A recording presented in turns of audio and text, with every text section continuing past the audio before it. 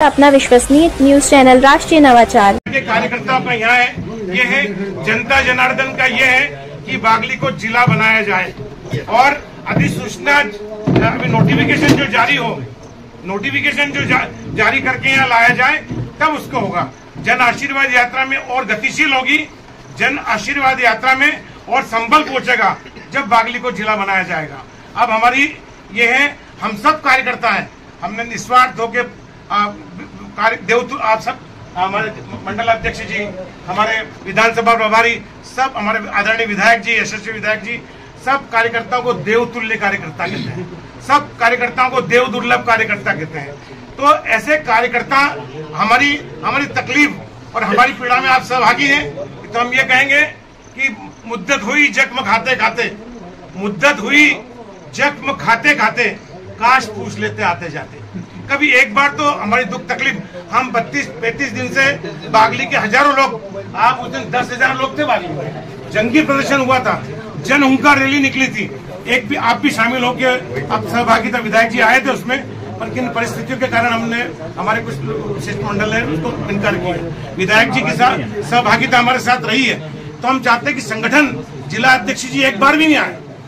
हम छत्तीस दिन से, छत्तीस दिन से कार्यकर्ता आप इतनी तकलीफ़ में वहाँ बैठे हैं सुबह से शाम तक बैठते हैं। कि हमारे साथ हमारे सुख दुख में जो कार्यकर्ता सहभागी होने की बात करते हैं जो नेता सहभागी होने की बात करते हैं क्या उन्होंने हमारे दर्द को हमारी पीड़ा को और हमारी जायज़ मांग को स्वीकार किया है क्या हमने क्या मांगा आपसे? हमने बागली को हम अपने लिए कुछ नहीं मांगते।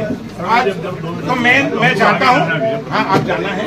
तो ये अभी हाँ, तो मैं चाहता हूँ कि आप ये अधिसूचना मऊगंज जिला, एक मिनट, दो मिनट। मऊगंज जिला बन चुका है, पांडुना जिला बन चुका है नागदा जल जिला, ज़िले की घोषणा हो चुकी है। मुख्यमंत्री सुबह की घोषणा करते हैं और शाम को अधिसूचना जारी हो जाती है। तो हमारे साथ तो करीब चार, पाँच साल तक आपने वादा किया है। तो अब ये पूर्णाहुति का समय है। हम सब भाजपा कार्यकर्ता हैं। तन से हम ये कहते हैं कि तन समर्पित, मन समर्पित और जीवन समर्पित मातृभूमि संगठन तुझे और कुछ दूँ।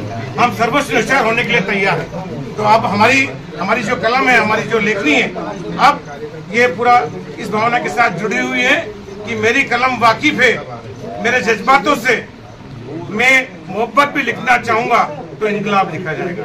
अब हमारा ये ये इस पूर्णावती के साथ आज आप विधानसभा के प्रभारी हैं, आप मुख्यमंत्री जी के साथ बैठते हैं, आप मुख्यमंत्री जी के साथ बैठते हैं, आप सब मुख्यमंत्री के साथ।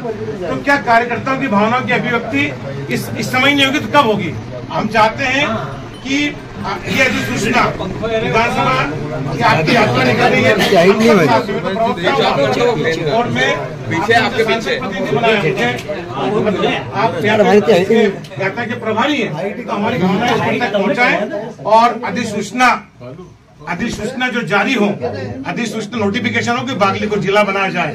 और आप सब इसमें हमारे दस हज़ार लोग इकट्ठा थे।